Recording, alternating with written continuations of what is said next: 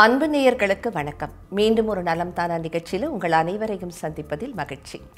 வார வாரம் நலம் தானா நிகழ்ச்சியில் முதியவர்களுக்கு ஏற்படக்கூடிய உடல் நலம் சார்ந்த பிரச்சனைகள் பற்றியும் மனநலம் சார்ந்த பிரச்சனைகள் பற்றியும் விளக்கம் கொடுக்கறதுக்காக சம்பந்தப்பட்ட மருத்துவ நிபுணர்கள் நம்முடைய அரங்கத்துக்கே வந்துட்டு இருக்காங்க அந்த வகையில் முதியவர்களை நம்ம எப்படி பராமரிக்கணும்?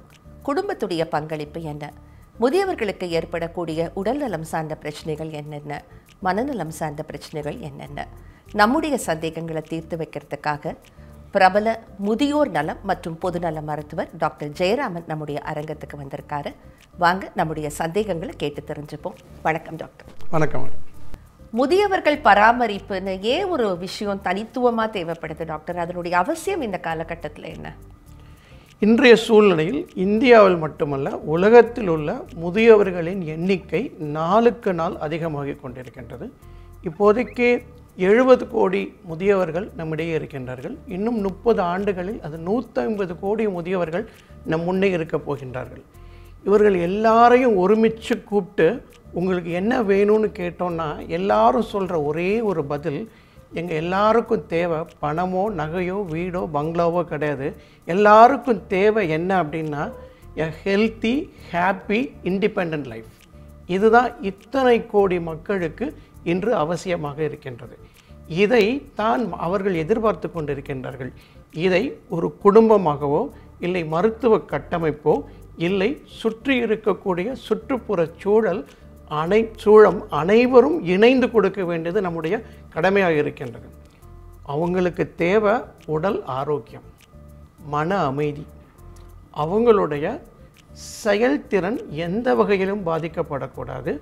அவர்களுடைய அன்றாட வாழ்வியல் முறை முடிந்த வரைக்கும் அதிகப்படுத்தி கொடுக்க வேண்டும். அன்றாட வாழ்வியல் முறையில் எந்த விதமான பாதிப்பும் வரக்கூடாது. அவங்கள்ட்ட கூப்பிட்டு கேட்டோன்னா அவங்களால வாழ்க்கையில் எது வேண்டாம் அப்படின்னா டாக்டர் எனக்கு யாரையும் நம்பி இருக்கக்கூடாது டாக்டர் என் வாழ்நாளில். கடைசி வரைக்கும் நான் தனியாக என்னோடய வேலையில் செஞ்சுக்கணும். யாரையுடைய உதவியும் நாடி இருக்கக்கூடிய ஒரு சூழலை கூட நினைத்து கூட பார்க்க யோசிக்கிறாங்க. அப்போ அந்த ஒரு சூழலில் முதியவர்கள் தள்ளப்பட்டால் எந்த அளவுக்கு அவர்கள் மனவேதனைப்படுவார்கள்? இதனை கொடுப்பதற்காகத்தான் நம் குடும்பத்தார்களினுடைய உதவியையும் ம மருத்துவரின் உதவியும் சுற்றுப்புற சூழல் இருக்கக்கூடியவர்களின் உதவியும் அவர்களுக்கு தேவைப்படுகிறது. ஜெரியாட்ரிக் கேர் எந்த அளவுக்கு அவசியமாகுதுங்கிறத பற்றி அற்புதமாக சொன்னீங்க டாக்டர் அந்த எமோஷனல் டச்சோட சொன்னீங்க. ரொம்ப அற்புதமாக இருந்தது. இந்த பராமரிப்பை வந்து அவங்களுக்கு யார் கொடுப்பாங்க? இது ஒரு கூட்டு முயற்சி. அவங்க தனியாக அவங்கள பாதுகாத்துக்க முடியாது. கண்டிப்பாக ஒரு பல்வேறு சூழலில் பல்வேறு நிலையில் இருக்கவர்கள் அவர்களுக்கு உதவணும்.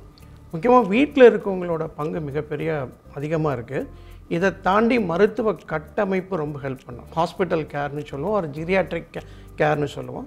இதை தாண்டி அசிஸ்டட் லிவிங் யூனிட் ஸோ ஒரு பேஷண்ட்டோட ஹெல்த்து ஸ்டேபிளாக இருக்கா அன்ஸ்டேபிளாக இருக்குங்கிற பொறுத்து அவங்க வீட்லேயோ இல்லை ஹாஸ்பிட்டல்லையோ இல்லை அசிஸ்டட் லிவிங் யூனிட்லேயோ அவங்களுக்கு கேர் தேவைப்படுது. பேஷண்ட் ரொம்ப கம்ஃபர்டபுளாக இருக்காங்க ஹெல்த்தியாக இருக்காங்க. சின்ன சின்ன பிரச்சனை அப்படின்னா அதை வீட்டிலையே நம்ம சரி செஞ்சுக்க முடியும். ஒரு ஆன் கால் விசிட்லேயோ இல்லை ஃபோன் கன்சல்டேஷன் மூலமாகவோ இல்லை பக்கத்தில் இருக்கக்கூடிய ஃபேமிலி டாக்டர்கிட்ட போயிட்டு அவங்க அதை பார்த்து சரி செஞ்சுக்க முடியும். அதே நேரத்தில் பேஷண்ட் வந்து அன்ஸ்டேபிளாக இருக்காங்க. பேஷண்ட் ஹெல்த்தியாக இல்லை சிக்காக இருக்காங்க. அவங்கள ஸ்டெபிலிட்டி பண்ணணும் அப்படின்னா கண்டிப்பாக அவங்களுக்கு ஹாஸ்பிட்டல் செட்டிங்கில் தான் கேர் கொடுக்க முடியும். அது ஜீரியாட்ரிக் கேர் இருக்கக்கூடிய ஒரு ஹாஸ்பிட்டல் செட்டிங் இருந்தால் இன்னும் அவங்களுக்கு நல்லது.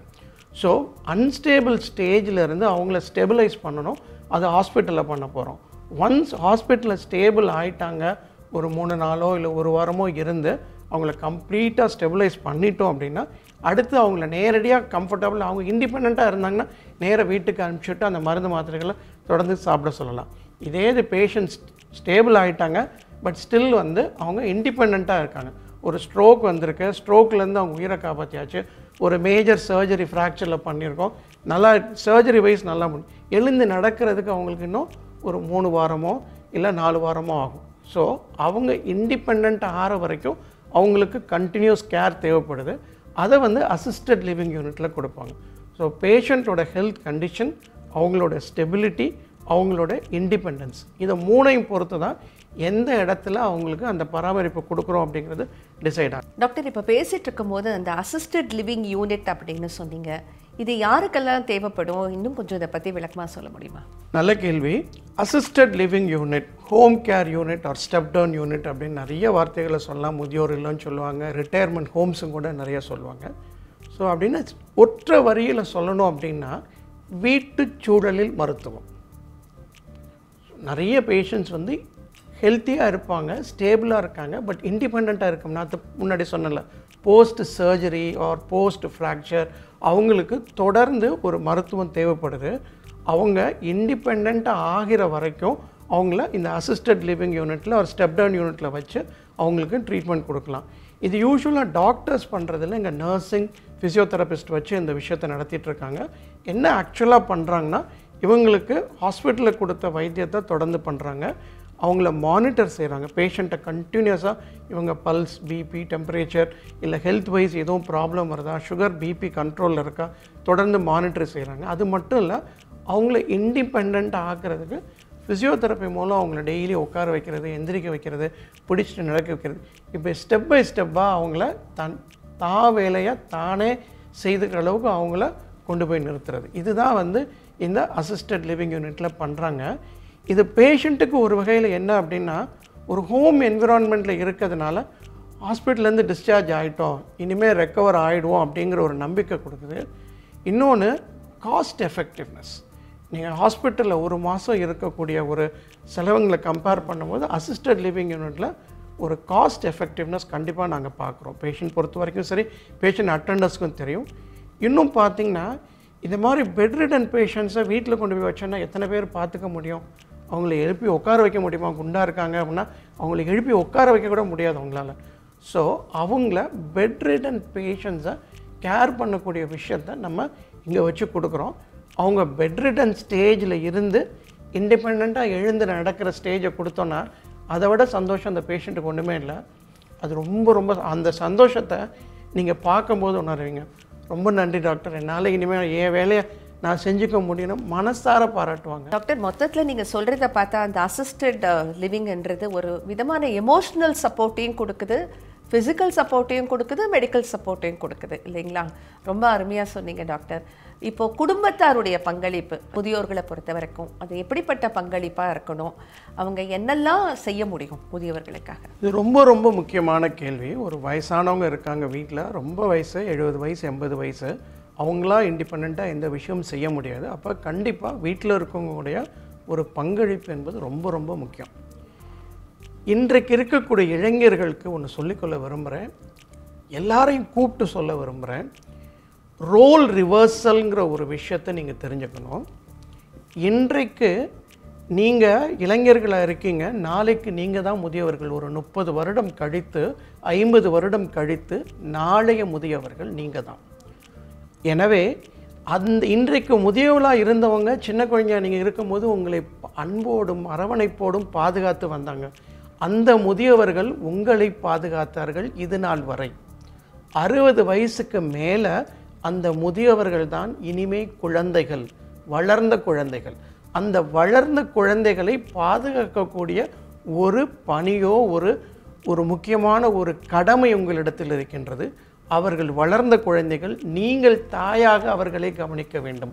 அவர்கள் இனிமேல் உங்களுக்கு குழந்தையாகத்தான் உங்கள் கண்களுக்கு பார்க்கணுமே தவிர அவங்களோட ரோலை நீங்கள் எடுத்துக்கணும். உங்கள் ரோலை அவங்க இவ்வளோ நாள் செஞ்சுருந்தாங்க. ஒன்று பசங்கக்கிட்டேருந்து இன்றைக்கு இருக்கக்கூடிய முதியவர்கள் நிறைய பேஷண்ட்ஸ் பார்க்குறோம். நிறைய பேஷண்ட்ஸ் கேட்குறேன்.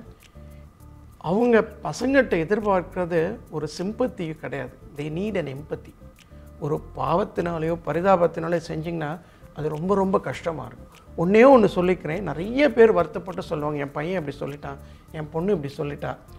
அதுதான் நான் எல்லாருக்கிட்டேயும் கேட்டுக்கிறேன். எந்த ஒரு சூழ்நிலையிலும் உங்கள் தாயிடமோ தகப்பனிடமோ முதியோர்களிடத்திலே அவங்களுக்கு வேண்டியது ஒரு அன்பான வார்த்தை. வேறு ஒன்றுமே இல்லை. ஒரு பத்து நிமிஷம் உட்காந்து பேசுங்க. எவ்வளோ பிஸியாக வேணா இருங்க. வாரத்தில் ரெண்டு நாள் மூணு நாள் மனசார பேசுங்க. அது அவங்களுக்கு ஒரு ரொம்ப ரொம்ப மன ஆறுதலை கொடுக்குது மன அமைதியை கொடுக்குது. இன்னும் நான் நிறைய பேஷண்ட்ஸ் வந்து பார்க்குறேன். ஹாஸ்பிட்டல் ஐசியூவில் எமர்ஜென்சியில் வரும்போதோ இல்லை கேஷுவாலிட்டி எமர்ஜென்சிலையோ பேஷண்ட் வந்து அன்கான்ஷியஸாக இருப்பாங்க. அப்போ இந்த வயசானவங்க என்ன மருந்து சாப்பிட்டுட்டு இருக்காங்கன்னு கேட்குறேன். யாருக்குமே எதுவுமே தெரியாது. மயக்கமாக இருந்தார் கூட்டிகிட்டு வந்தோம் இவருக்கு சுகர் இருக்கா? தெரியாது. இவர் என்ன மாத்திரை சாப்பிட்றாரு? பிபி மாத்திரை என்ன தெரியாது. அதுக்கு தான் எல்லார்ட்டையும் ஒன்றே ஒன்று அன்பாக கேட்டுக்கிறது. உங்கள் வீட்டில் இருக்கக்கூடிய முதியவர்கள் மெடிக்கல் ரெக்கார்ட்ஸ் ரொம்ப ரொம்ப முக்கியம். அவங்க ஹெல்த் என்ன? இவங்களோட இன்றைக்கி ஏஜ் என்ன? இவங்களுக்கு ஏற்படக்கூடிய சுகர் இருக்கா? பிபி இருக்கா? கொலஸ்ட்ரால் இருக்கா? இந்த சுகருக்கு என்ன மாத்திரை சாப்பிட்றாங்க? இது எத்தனை வேலை சாப்பிட்றாங்க? இந்த மருந்து கரெக்டான டயத்தில் எடுத்துக்கிறாங்களா? இந்த மருந்து சில பேர் பார்த்தீங்கன்னா வாங்கி கொடுத்தோட முடிஞ்சிடும். அதுக்கப்புறம் அடுத்த மாதம் இன்னொரு செட் வந்துடும் டப்பா டப்பாவாக இருக்கும். ஸோ இந்த கொடுக்குற மருந்து அவங்க சரியான முறையில் சாப்பிட்றாங்களா? அவங்கள சரியான முறை நிறைய முதியவர்கள் சாப்பிட கூட மறந்துடுறாங்களோ டாக்டர்? மருந்து சாப்பிட கண்டிப்பாக நிறைய காரணங்கள் ஒன்று அவங்க வந்து ரெண்டு காரணத்தினால ஒன்று ஒரு வெறுப்பில் தூக்கி போட்டுறாங்க. என்னத்தை வாழ்ந்தோம் என்னத்தை பண்ண போகிறோம் நம்மளுக்கு என்ன நம்ம இனிமேல் என்ன பண்ண போகிறோம் நம்மளால் யாருக்கும் பயன் இல்லைங்கிற ஒரு வருத்தத்தில் படுறாங்க. சில பேர் என்ன பண்ணுறாங்கன்னா ஒரு பணப்பற்றாக்குறையால் வாரத்துக்கு ரெண்டு நாள் சாப்பிட்டா போதும். நம்மளால் பையனுக்கு காசு செலவாகுமே பொண்ணுக்கு காசு செலவாகுமே ஹெல்த்துக்கு இவ்வளோ செலவு பண்ணுமா? இல்லை அவனை நம்பி இருக்கணுமே அவனுக்கு தேவையில்லாமல் இருக்குமே அப்படின்னு சொல்லிட்டு வாரத்துக்கு ரெண்டு நாள் கொலஸ்ட்ரால் மாத்திரை போடுறாங்க.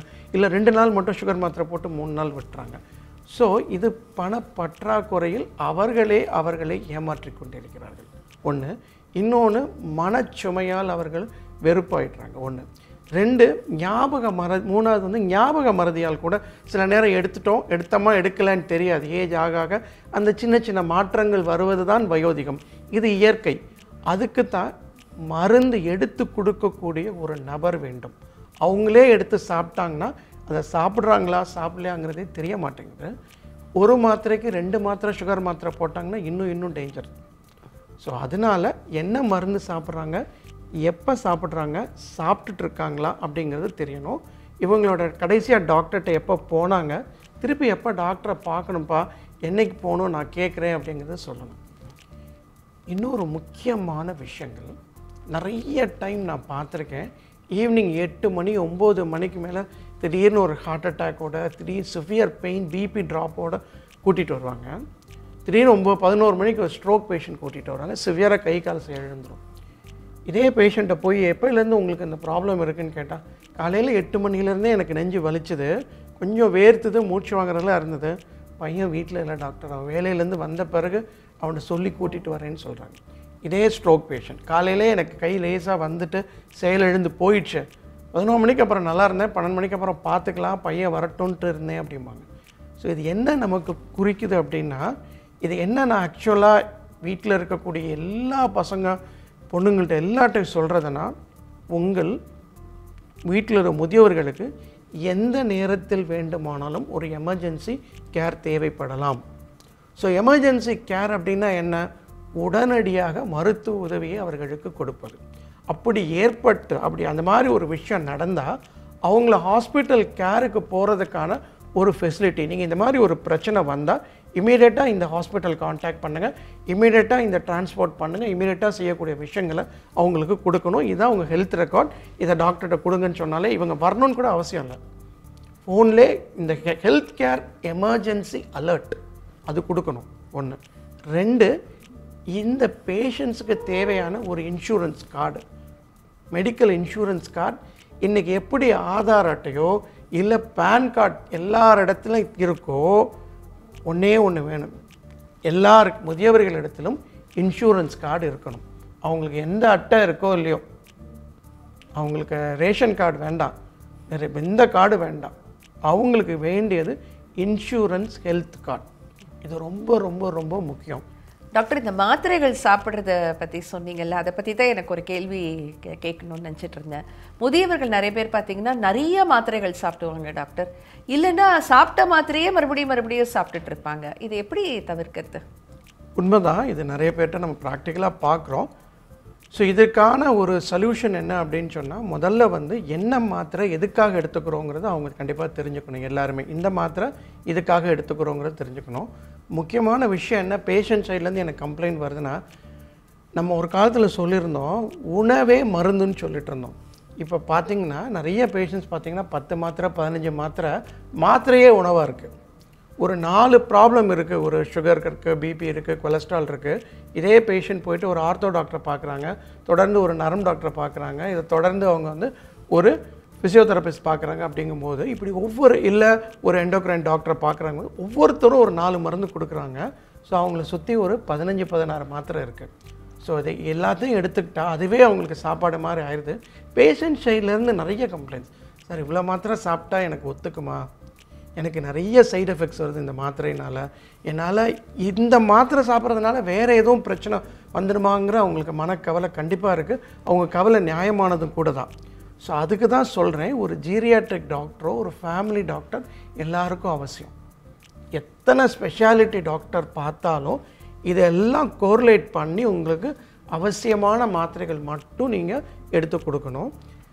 நிறைய ஜீரியாட்ரிக் பேஷண்ட்ஸ் முதியவர்களை பார்க்கக்கூடிய டாக்டருங்கிற முறையில் சொல்கிறேன் என்னோட சின்சியரான அட்வைஸ் முடிஞ்ச வரைக்கும் அவசியமான மருந்துகளை மட்டும்தான் கொடுக்கணும். இந்த அதிகமாக மருந்து சாப்பிட்றது தவறான மருந்துகளை சாப்பிட்றது மட்டும் இல்லை டாக்டர் முதியவர்கள் கிட்ட நம்ம பார்க்குற இன்னொரு பெரிய பிரச்சனை வந்து கீழே விழுந்துடுறது இல்லையா?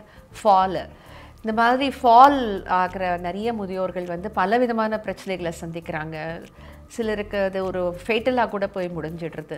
இந்த ஃபாலை எப்படி டாக்டர் தவிர்க்கலாம் முதியவர் உண்மைதான் இது முக்கியமாக நம்ம பார்க்க வேண்டியது என்ன காரணத்தினால விழுறாங்க அப்படிங்கிறத முதல்ல பார்க்கணும். ஆஸ் அ டாக்டர் நான் முதல்ல என்ன எதிர் பார்ப்பேன் அப்படின்னா கீழே விழுந்துட்டாங்கன்னு கூட்டிகிட்டு வரும்போது முதல்ல அது வந்து மயக்கமா இல்லை வலிப்பா இல்லை தடுமாற்றமா? இது மூணுக்கு வித்தியாசம். ஏன்னா ஒன்னொன்றுக்கு ஒரு காரணம் இருக்கும். கீழே விழுறாங்க அப்படின்னா இவ்வளோ நாள் நடவடையாக இருந்தவங்க திடீர்னு விழுறாங்க அப்படின்னா ஏதோ ஒரு காரணம் இருக்கும். அந்த காரணத்தை கண்டுபிடிக்கிறது தான் மருத்துவருடைய வேலை. அவங்கள நரம்புல ப்ராப்ளம் இருக்கலாம் இல்லை அவங்க எலும்பில் ப்ரா எலும்புலையோ இல்லை சதை சதையிலோ இல்லை அவங்களுடைய மூளையிலோ ப்ராப்ளம் இருக்கலாம். இல்லை அவங்களுக்கு இருக்க medical problems low BP low sugar திடீர்னு பார்த்தீங்கன்னா ரொம்ப நேரம் நிற்கும் போது பார்த்தீங்கன்னா ஆர்த்தோஸ்டாட்டிக் ஹைப்போடென்ஷன் சொல்லுவோம் இல்லைங்க அவங்க எடுத்துகிட்டு இருக்க மெடிகேஷன்ஸ் காரணமாக இருக்கலாம். ஸோ இல்லை அவங்களுக்கு இருக்கக்கூடிய சுகர் அதிகமாக இருந்திருக்கலாம். ஸோ நிறைய மெடிக்கல் ப்ராப்ளம்ஸ் திடீர்னு ஒரு அரித்மியாஸ் டெவலப் இருக்கலாம் ஹார்ட்டில் ஸோ நிறைய நிறைய காரணங்கள் இந்த காரணங்களை அறிஞ்சு ட்ரீட் பண்ணோம்.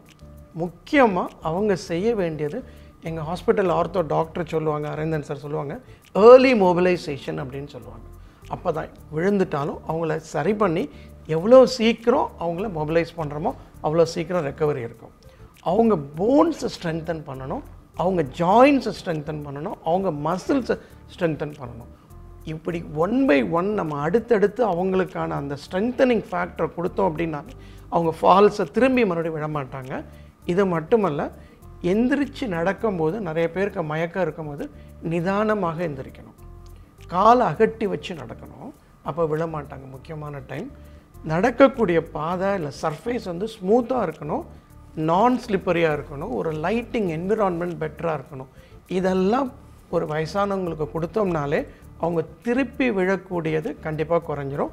அப்படியே விழுந்துட்டாங்கனாலும் அதனால் எதுவும் பாதிப்பு இருக்கான்னு பார்த்து உடனடியாக அதை சரி செஞ்சோன்னா மறுபடியும் அவங்க விழுறதுக்கான வாய்ப்புகள் மிக மிக குறையும் டாக்டர் அடுத்த ஒரு முக்கியமான பிரச்சனை இந்த பெரியவர்களுக்கு யாரை பார்த்தீங்கனாலும் சொல்கிறாங்க எனக்கு தூக்கமே வரமாட்டேங்குது தூக்கமே வரமாட்டேங்குதுன்னு. இதே முதியோர்கள் இப்படி சொல்கிறாங்க நிஜமாவே அவங்களுக்கு தூக்கம் வராதா? இல்லை இது எப்படி தூக்கத்தை இன்னும் கொஞ்சம் உட்படுத்துறதுக்கு ஏதாவது வழிவகைகள் இருக்கா? ரொம்ப காமனான ஒரு பிரச்சனை தான் எல்லாருக்கும் இருக்கக்கூடிய பிரச்சனை தான். பட் தூக்கமின்மை காரணம் நிறைய இருக்குது. எல்டர்லி வந்து தூங்கலை அப்படின்னாலே நம்ம அவங்க ஏ வயசாகிடுச்சின்னு அதை ஒதுக்கிற முடியாது. நிறைய பேர் தூங்காமல் இருக்கிறதுக்கான காரணம் வேறையாக இருக்குது உடம்புல ஏற்படக்கூடிய ஒரு வலி இருக்கும். தோள்பட்ட வலி இருக்கும். இடுப்பு வலி இருக்கும். அவங்க திரும்பி படுக்கும்போது சரியாக அவங்களால அந்த வலினால் தூக்கம் இல்லாமல் போயிடுது. இல்லை அவங்க வேதனைப்படுறாங்க. நைட்டில் தனியாக இருக்கும்போது தான் யோசிச்சு யோசிச்சு யோசிச்சு அவங்க வருத்தப்படுறதும் வேதனைப்படுறதும் நைட்டில் தான். அதனாலே பல பேர் தூங்குறதில்ல. அது மட்டும் இல்லை ஒரு சிலர் பார்த்திங்கன்னா நைட் ஆனாலே ஒரு பத்து முறை இருபது முறை யூரின் போகிறதுக்காக எந்திரிக்க வேண்டியிருக்கு. அதனால தூக்கம் பெற்று போகுது. ஸோ இந்த தூக்கமின்மை வயோதிகத்தின் காரணமாக இருக்கின்றதா? இல்லை அவர்கள் மனதில் இருக்கின்றதா? இல்லை ஏதேனும் நோய் வாய் படுறதுனால அவங்களுக்கு அந்த தூக்கம் கெடுதாங்கிறத முதல்ல பார்க்கணும். ரெண்டாவது ஜென்ரலாக ஒருத்தருக்கு நல்லா தூக்கம் வரணும் அப்படின்னாலே முதல்ல பகலில் தூங்கக்கூடாது. பகலில் தூங்கவே கூடாது. அவங்களுடைய ஃபிசிக்கல் ஆக்டிவிட்டி நடை உடை கொஞ்சம் ஜாஸ்தி பண்ணணும். அது மட்டும் இல்லை உங்கள் மனசை எவ்வளவுக்கு எவ்வளோ காமாக வச்சுக்கிறீங்களோ அவ்வளோ நல்லது. டாக்டர் இப்போ முதியோர்களுக்கு ஏற்படக்கூடிய உடல் ரீதியான பிரச்சனைகளை பற்றி நிறைய விளக்கங்கள் சொன்னீங்க. இவங்களுக்கு ஏற்படக்கூடிய மன ரீதியான பிரச்சனைகள் என்னெல்லாம் டாக்டர்? நிறைய நிறைய பிரச்சனைகளுக்கு ஒரு வித்து ஆர் ஒரு விதையாக இருக்குது இந்த மன ரீதியான பிரச்சனைகள் மன அழுத்தம் தனிமையின் சோகம். நம்ம எல்லாம் பண்ணிட்டோம். நம்ம இனிமே யாருக்கும் பயன் இல்லையோங்கிற ஒரு அவங்களே அவங்கள கேட்டுக்கிற ஒரு ஒரு தேவையில்லாத ஒரு கேள்வி. ஆக்சுவலாக எல்லாருக்கும் நான் சொல்கிறது என்னென்னா இனிமே தான் நீங்கள் வாழணும். இனிமே தான் நீங்கள் சந்தோஷம் உங்கள் கடமையை நீங்கள் நல்லா செஞ்சிட்டீங்க. இனிமே உங்களுக்கு தேவையானதை நீங்கள் செய்து கொள்ளுங்கள். உங்களுடைய அருமையை நீங்கள் உணர்ந்து கொள்ளுங்கள்.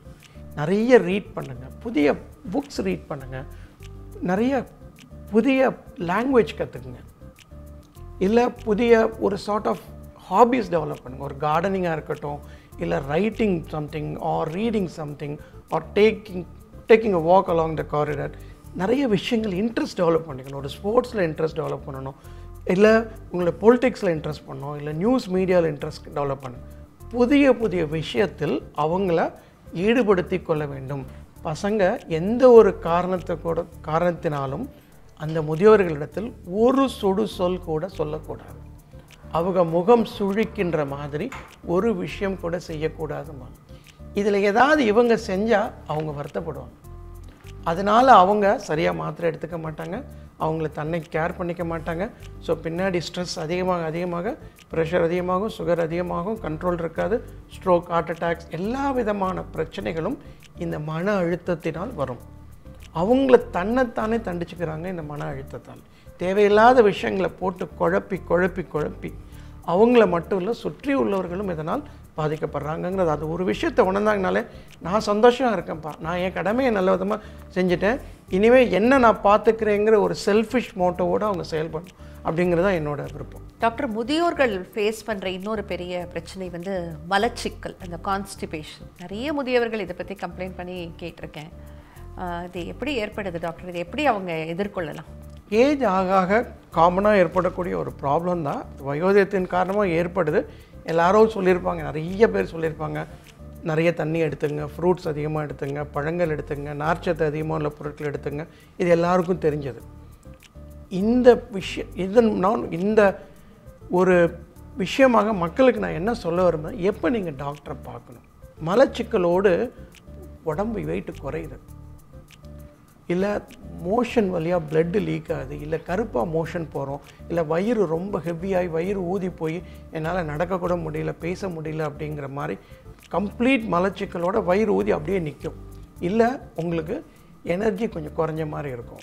ஸோ அப்படி இருந்தால் உங்களுக்கு டாக்டரை பார்க்குறது ரொம்ப ரொம்ப நல்லது. டாக்டர் முதியவர்களுக்கு ஏற்படக்கூடிய மனநல பிரச்சனைகள் உடல் நலம் சார்ந்த பிரச்சனைகள் எல்லாத்துக்கும் எங்களோட கேள்விகளுக்கு அருமையான விளக்கங்கள் கொடுத்துட்டு இருந்தீங்க டாக்டர் இப்போ இந்த நிகழ்ச்சியை பார்த்துட்டு இருக்கிற முதியோர்களுக்கு நீங்கள் கொடுக்குற ஒரு டேக் ஹோம் மெசேஜ் என்னவா இருக்கும்?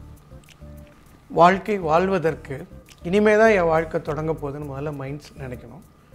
கம்ப்ளீட்டாக பாசிட்டிவ் மைண்ட் செட்டாக இருக்கணும் அவங்க. என் ஹெல்த்தை நான் பார்த்துக்கிறேங்கிற ஒரு ஒரு ஆர்வம் இருக்கணும். நான் எனக்கு வயசாகிடுச்சு இனிமேல் நான் என்ன பண்ண போகிறேங்கிற ஒரு ஒரு வருத்தமோ இல்லை அதனால் செயல்பாடு இல்லாத தன்மையோ இருக்கக்கூடாது. ஜிரியாட்ரிக் ஹெல்த் கேர் கொடுக்கக்கூடிய எல்லா ஹாஸ்பிட்டல்லையும் எல்லா விதமான ஜிரியாட்ரிக் பேக்கேஜஸ் இருக்குது அவங்களுக்கான ஸ்க்ரீனிங் பேக்கேஜஸ் எல்லாமே இருக்குது அதை பீரியாடிக்காக போய் அவங்க அசஸ் பண்ணிக்கிட்டாங்கனாலே நிறைய விஷயங்கள் அவங்கள ஆரம்ப நிலையிலே கண்டுபிடிச்சு அதற்கான வைத்தியத்தை கொடுத்து பின்னாடி வரக்கூடிய problem so geriatric health assessment பண்ணணும். ஒன்று மென்டலாக அவங்க ரொம்ப ரொம்ப காமாக இருக்கணும். ஹாப்பியாக ஃபீல் பண்ணணும். அதுக்காக அவங்கள என்கேஜ் பண்ணிக்கணும் நிறைய விஷயங்களில். முக்கியமாக நான் சொல்ல வேண்டியது ஃபினான்ஷியல் ஸ்டெபிலிட்டி ஒரு பக்கம் அவங்களுக்கு இருந்துச்சு அப்படின்னாலே இந்த விஷயங்கள் எல்லாம் தன்னால் நடந்துடும் ஸோ ஹாப்பியாக இருங்க ஆக்டிவாக இருங்க ஹெல்த்தியாக இருங்க. இது மூணும் தான். இதுக்கு மூணுக்கும் நீங்கள் என்னெல்லாம் செய்யணுமோ எல்லாமே செய்யலாம். இன்ஃபேக்ட் நான் வயசானவங்களுக்கு சொல்லக்கூடிய ஒரு மிக மிக முக்கியமான message invest in your health and health insurance நீங்கள் உங்களுக்கு பசங்களுக்கு நகையோ பணமோ இல்லை சொத்தோ சேர்க்க வேண்டியது இல்லை. நீங்கள் உங்களை பாதுகாக்கிறதுக்கான இன்வெஸ்ட்மெண்ட்டை முதல்ல செய்யுங்க. உங்களோட first investment should be your health and health care ஸ்ட்ரக்சருக்கான investment நீங்கள் பண்ணணும். அதுதான் இன்சூரன்ஸ் கார்டை நீங்களே எடுத்து வைங்கன்னு சொல்கிறேன் ஒரு தேர்ட்டி தேர்ட்டி லேக்ஸ் நீங்கள் பசங்களுக்கு ஒரு நூறு கோடி சொத்து சேர்க்கணும் அவசியம் இல்லை. டுவெண்ட்டி லேக்ஸ் உங்களுக்கு husband twenty lakhs insurance card எடுத்து வைங்க. அந்த தன்னால் உங்களுக்கு ஒரு கான்ஃபிடன்ஸ் கிடைக்கும். So invest your in your health அதுதான் நான் சொல்கிறேன் மற்ற விஷயங்கள் எல்லாம் தன்னால் நடக்கும். முதியோர்களுக்கு ஏற்படக்கூடிய பலவிதமான பிரச்சனைகள் பற்றியும் அதுக்குண்டான தீர்வுகள் பற்றியும் ரொம்ப அற்புதமான விளக்கங்கள் கொடுத்தீங்க டாக்டர். உங்களுடைய நேரத்தை ஒதுக்கி எங்களோட அரங்கத்துக்கு வந்ததுக்கு மிக்க நன்றி. நன்றி.